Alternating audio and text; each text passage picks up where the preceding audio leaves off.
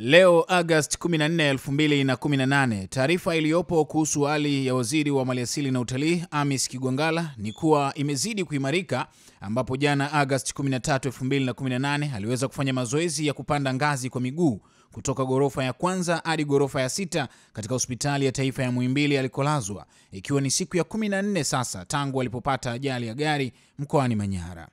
Waziri Kigwangalla ameyasema hayo leo Agosti 14, 2018 wakati naibu waziri wa maliasili na utalii Jafet Asunga alipomtembelea katika hospitali hiyo kwa ajili ya kumjulia hali na kumpa pole.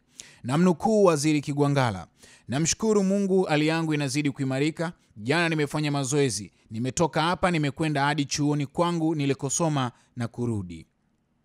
Kwa stori na updates kama hizi, endelea kukaa karibu na Millard Ayo kupitia ukurasa wetu wa Instagram kwa jina la Millard Ayo, Twitter tunatumia Millard Ayo underscore, Facebook Millard Ayo. Subscribe katika chaneli yetu ya YouTube kwa jina la Millard Ayo. Mimi ni Pasco Mwakioma.